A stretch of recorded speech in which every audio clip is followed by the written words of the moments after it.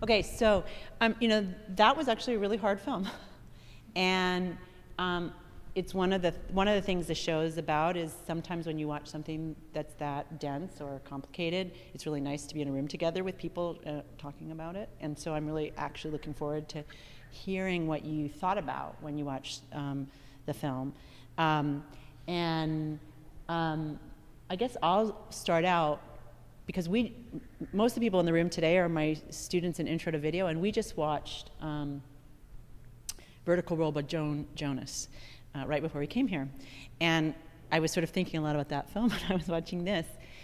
Uh, in one sense, I'll begin with, which was the focus on the eye and the eye in the circle, and then the focus on circles in the film, which made me think a lot about the film being about seeing and the sort of mechanisms of seeing and film as producing um, frames, which we had just talked about in class. I'm wondering if anybody wanted to thought, uh, talk about the circles and um, the eye um, as, a, as a beginning um, way to think about filmmaking um, and, and, and seeing.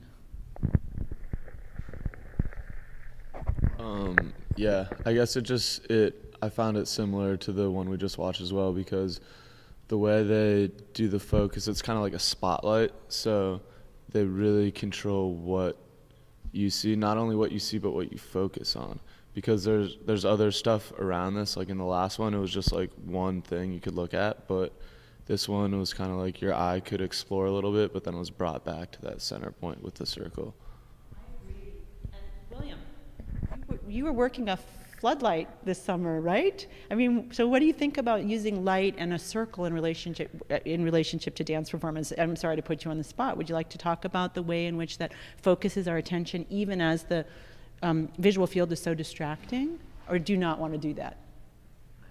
Okay. Other thoughts about the circle and about focus and about framing in this piece, and why the frame is a circle in this sense Whereas uh, in this piece, whereas in Joan, Joan Jonas's piece, it's very, very rectangular.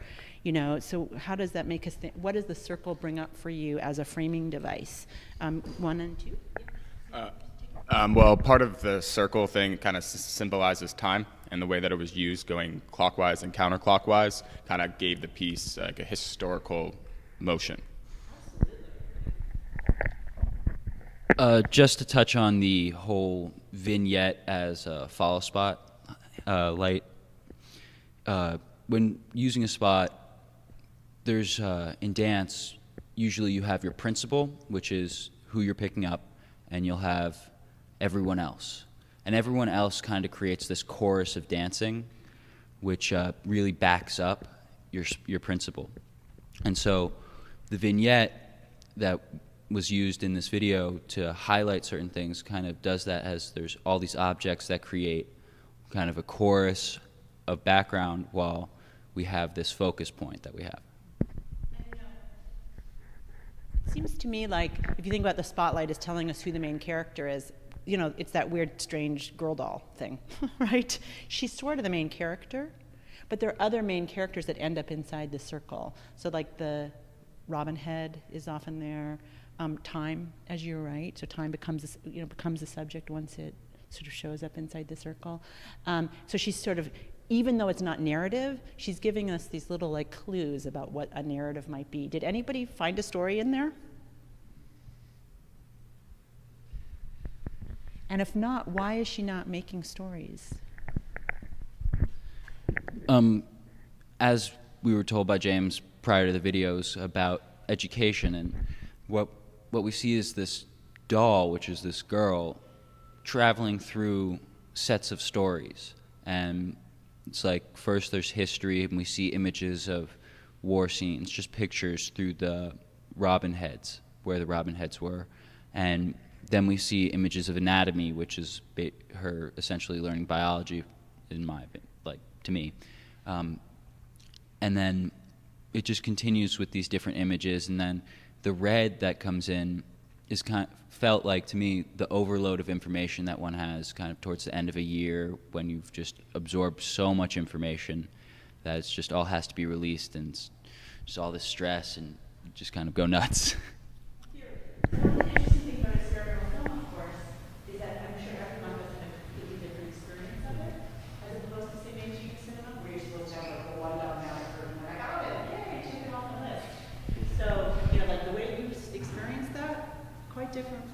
But like I'm really grateful to have heard that.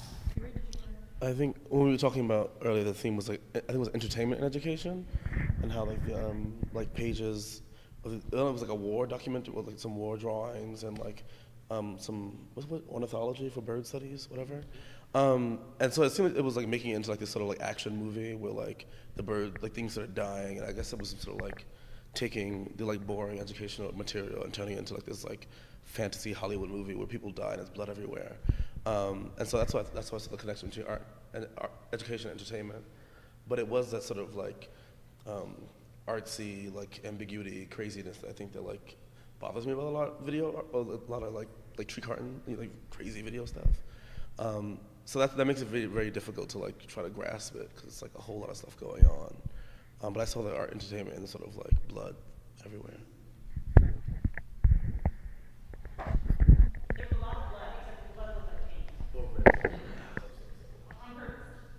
I had the advantage of watching it twice, um, but the second time, the first time around, I noticed purely the like the what you mentioned, the fetish, fetishization of the iris and how the eye is represented throughout the whole narrative as being we're we're seeing things through a keyhole or through a lens of an eye that is almost Freudian. We see her behind screens that have holes in it several times. So the question is then the two characters that I identify as like the main characters that uh, as an audience member you can identify with is either the dis-skinned human who has separate pieces of himself running throughout the narrative or the girl and it's his eye we see at the beginning and then it's her we see behind a screen looking through holes and so we always are then purported through a hole through the rest of the film. But then the second time i watched it i saw through the sound codifications uh, a re- really narrative of a frame narrative of she because the piece is called ghost algebra and so the idea of somehow she's removed or uh, has a narrative as a character, and then it's telling her story. And we see, uh, for me at least, it was her in the afterlife or some some ethereal plane, and then we see the second the second uh, large sound that we're seeing is children playing, and we see her playing, and that's the first time we see her clearly not silhouetted. And we see her going down a slide we see her with a Ferris wheel type structure in the back. We see her sitting on a rock. And those are very clear images. And then we see her fall off the rock as the sound turns from the playful children on the playground to a more screaming children on the playground. And then the next sound is uh, changed, it goes silent. And then we have that Disney esque pan through the trees and then the mirror pond type of representation that it begins with, which to me was the symbolization of this frame narrative between the two of that's the story of her now we're going to see more of the ethereal plane and then the rest of it is seeing into people we start for the first time seeing into holes of seeing into the birds seeing behind the birds seeing uh, behind the human and the skin and so for me it was the representation of being able to see through a keyhole into maybe another another life, another time. Well, I, I really appreciate the fact that you um, put in this Freudian interpretation and into this idea of looking, because one of the things we didn't talk about in relationship to Joan Jonas, and it's relevant in both pieces, is that who, who is being looked at, who is looking, and who is the artist in both cases is a woman. So in Joan Jonas's Vertical Roll, you are only looking at the body of a woman, right? And in this piece, you're looking at a protagonist who is a strange little girl doll. And there's certainly something being said about how men look at women, how women are looked at, and but that is being controlled through the vision of a female artist. And I'm wondering if anyone wants to think a little bit more about um, that in relationship to either of the things that we saw today about a female artist thinking about the ways that women are seen um, typically in Hollywood films, typically in television, and then they make their own art to be seen differently. So, any thoughts about gender and looking, maybe to end this one? Someone we haven't heard from? Theory, I'll come back to you. Would anyone else like to comment on that? I mean, this film is very violent, really. There's a real kind of ominous quality to um, how she's being seen, I think, and um, not so true in, in Vertical Roll. Um, so when I first saw the title, I thought it reminded me of Interior Scroll, where the artist pulls a poem out of her vagina about.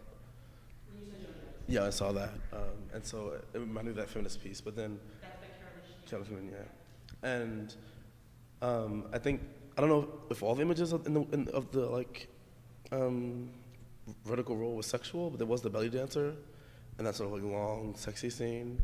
Um, so that reminded me of that, but it didn't. I, I couldn't like form like a, a, political like, you know, conclusion when I saw that. And with this one, and thinking about Hollywood movies and how like we use like little girls as like the like objects of like fear a lot. Um, but I didn't like.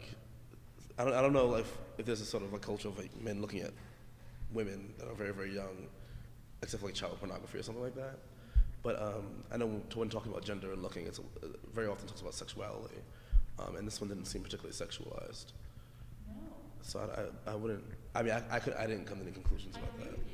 I agree with you. In fact, quite the opposite. Right? It's, hardly. There's. It, she's hardly sexualized at all. Then again, she's some kind of plastic or wax doll. It's a little bit hard to sexualize her. That said, it's quite easy to sexualize anything if you're making films. So the artist has to work very hard not to sexualize her, actually, right? Um, did you want to say something more? Anyone else? Okay, let me, and we'll just sort of leave that to our YouTube audience. Um, by an earlier comment about video art that someone made, um, and why people make things that are this abstract and sort of, as they say, dense and open to interpretation and very much about feeling. And I'm wondering if anyone wants to comment on the complexity of the piece. Somebody said, well, that's why I don't like video art. That's why I don't like experimental film. That was you theory. I'm wondering if anyone likes it for that reason wants to talk about the experience of seeing something that is not completely forthcoming, that doesn't deliver everything you need to know about it in one second, which is what media is like today which leaves, leaves you open to interpretation, allows you to be inside of a, a set of feelings more than knowing something. Anybody like that um, experimental film, video art kind of thing? Yeah.